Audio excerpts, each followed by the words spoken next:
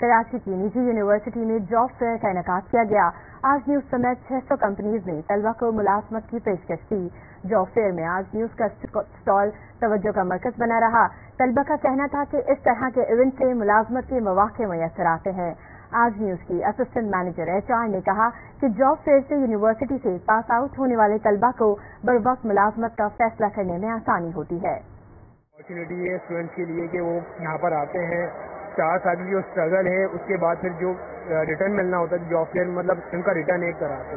تو اچھی اپارچونیٹی ہے اسٹوڈنٹس کے لیے میرے حساب سے۔ یہ کافی ہیلپ فل ہے اسٹوڈنٹس کے لیے۔ یہاں پہ نا ڈفرینٹ طرح کی جابس ہیں ایچ آر کی تو ایزیلی انٹرنشپ والے بھی اپلائی کر سکتے ہیں اور جو ابھی گریجویٹ ہوئے ہیں نیولی وہ بھی اپلائی کر سکتے ہیں۔ اپارچونیٹی کافی اچھی ہے یہاں پہ۔ میں ڈفرینٹ کمپنیز میں ٹرائی کر رہا ہوں جا کے۔ ایز اے انٹرنی یا جاب جو بھی اویلیبل ہو تاکہ میں کر سکوں۔ It's a great opportunity that all companies are in one place and you can apply in any of the companies you want they are offering so many opportunities in every department for every like B B A students media students as well ہم تو different departments کے لیے offer کر رہے ہیں we have a lot of opportunities یہاں پہ ہم کوشش کرتے ہیں کہ زیادہ سے زیادہ اسٹوڈنٹس کو انگیج کر سکیں، تاکہ نیا بلڈ لائے، نئی کریٹیوٹی لائیں چینل کے اندر، جو کہ چینل کے لیے اوور آل بہت بینیفٹ ثابت ہوتی ہے کیونکہ یہاں پہ دکھ بھی رہی ہے ینگ ٹیلنٹ یہاں نظر آ رہا ہے لوگوں کو۔